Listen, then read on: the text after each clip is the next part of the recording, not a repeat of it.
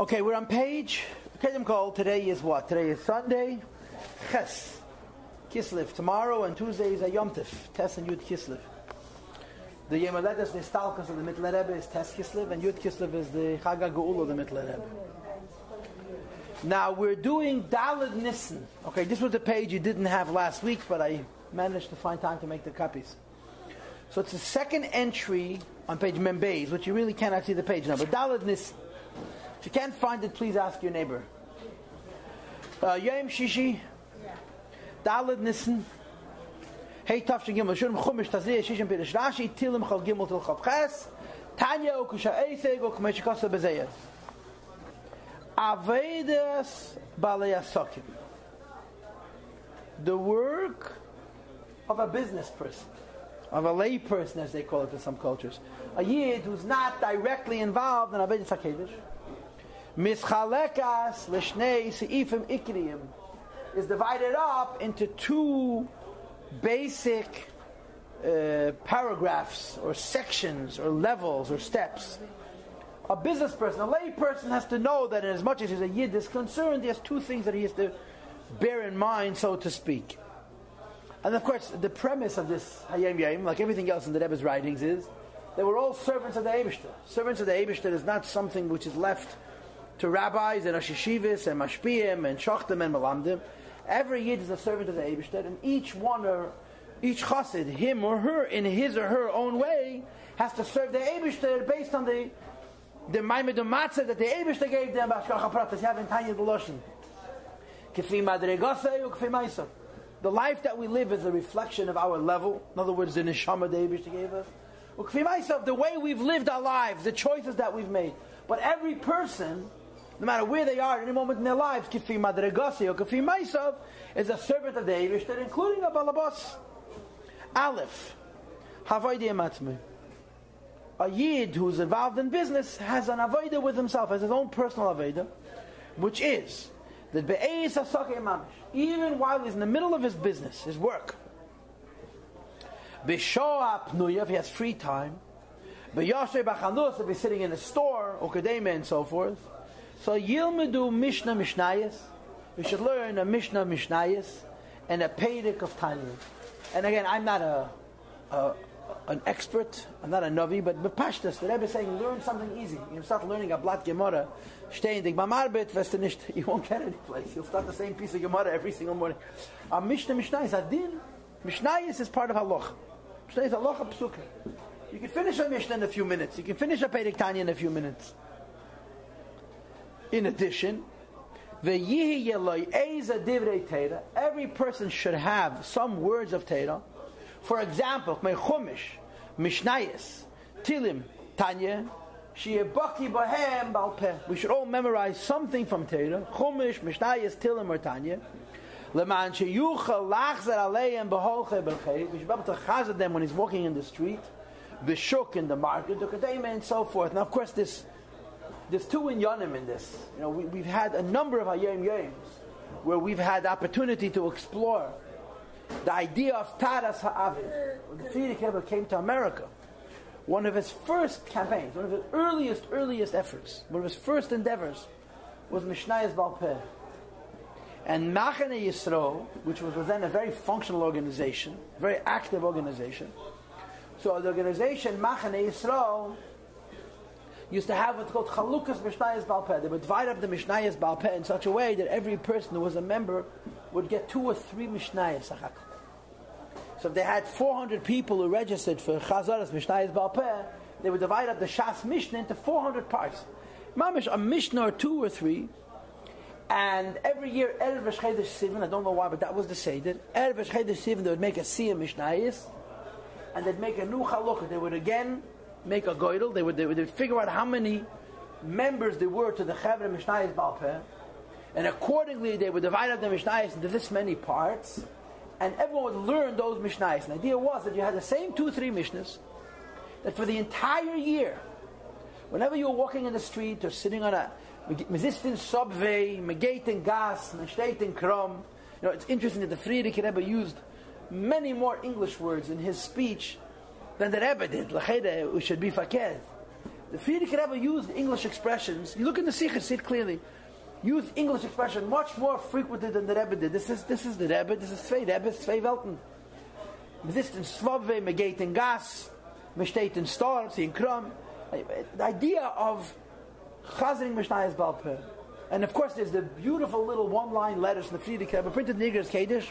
El Hanholas, Chevre, Mishnayis, Shayad, Machne Yisrael, Yitzuv.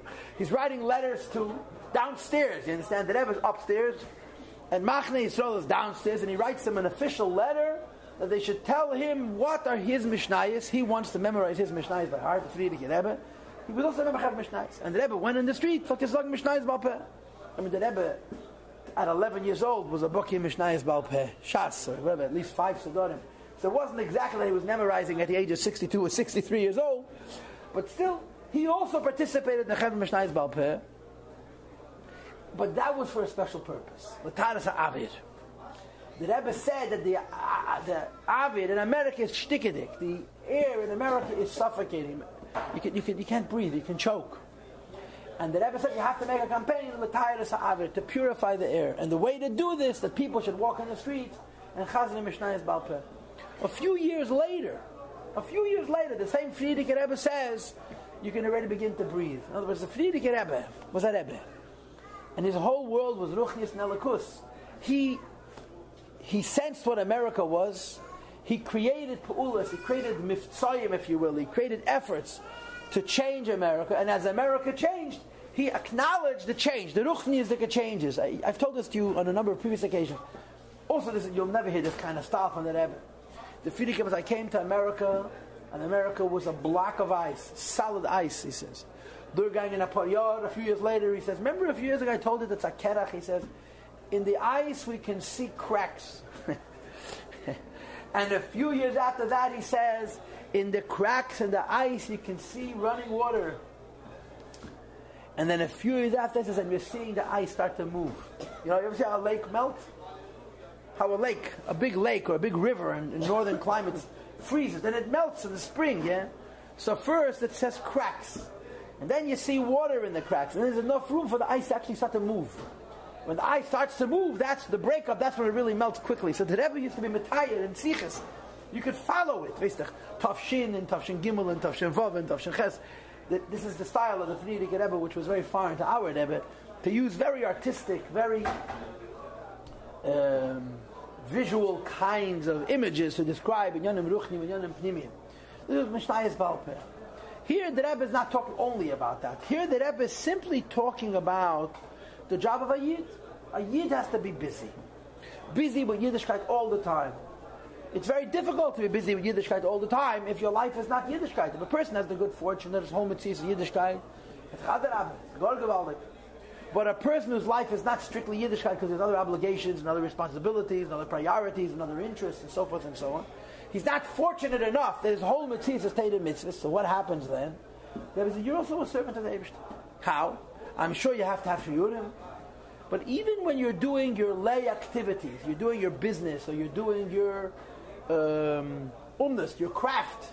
When you have free time, learn a little Teda, say a Pedic Mishnayis, and when you walk in the street, Chazar Mishnayis Balpeh. It's so simple when the Rebbe says it.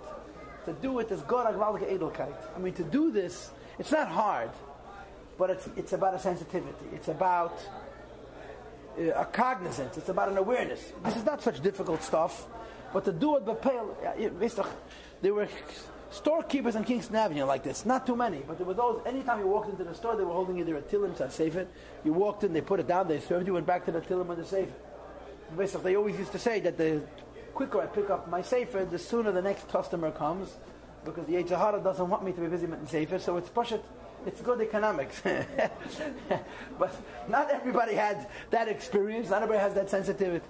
That's called Havayde Matz. Beis, Havayde Mzulos. Influencing other people. What are the pshat influencing other people? Beis the dibur b'yani esa. While you're discussing matters of business affairs, you should lead the conversation. And lead it in a direction which will allow you to tell a story. And the story will have a toichen, a badait, a meaning, not just. They are maise, a maise that brings out an Indian that teaches something, that inspires something. And to find a cause, direct or indirect, le'eder, to encourage the customer, al dvar limud, to learn Teiro, and so forth. You meet people. Right? The Rebbe says, you think you're meeting people for Panasa, you're meeting people for Panasa Ruchnis. So the male, the Eitzah is, when you meet a person, the conversation should reflect that mission as well. And in more recent years, the Rebbe, of course, added to this something even more extreme, which is the idea of Sheva Mitzvah When you meet a goy in business, you think you're meeting the goy to discuss business. In fact, you're meeting to this goy to teach him about the Eibishter. And the Rebbe always says that when Yidden in business will teach goy about the Eibishter, not only will it not make their business prospects more difficult, it'll make their business prospects much easier.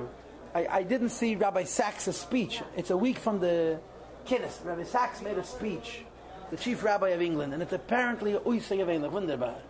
I mean, everyone is talking about it. I haven't seen it. And but he says many different things. He tells the story of how the Rebbe Poshet He wasn't even through when he met the Rebbe for the first time. And his whole life was guided by the Rebbe. He had the wisdom and the humility to listen. And the Rebbe made him into a giant, Mamish into a giant. He's a chief rabbi of England, which is a very serious position. It's very serious because he has influence on Goyim. But in any case, this Rabbi Sacks, amongst the many things he says, he says that when a Jew acts like a Jew, Goyim respect him. When Jews act like Jews, Goyim respect him. When Jews don't act like Jews, the Goyim don't know what to do with them. In other words, it's exactly the opposite of what for so long was thought to be the solution to Yiddish Tzaris. You know, assimilation and so forth and so on. But I want to just mention that I heard, I heard, I heard this more than once actually, that the Rebbe said, this is very sharp verter, but Kach Shamaiti, the Rebbe said, had Yidden before the war talked to Goyim about Sheva Mitzvahs, B'nai Neach, there would not have been a Holocaust. Yidden would talk, in other words, if Yidden would not have lived such lives of isolation, where the Yidden, the Goy had no kesher, that's how they lived. They lived in complete isolation. Totally upgesunded. And I suppose it wasn't necessarily by the Jewish people's choosing. A lot of it had to do with anti-Semitism and other factors. But had taught Goyim how to serve the Eibishter, they would have made them push it into better people. And the Rebbe says a person who's involved in business, this is the real reason. It's a panas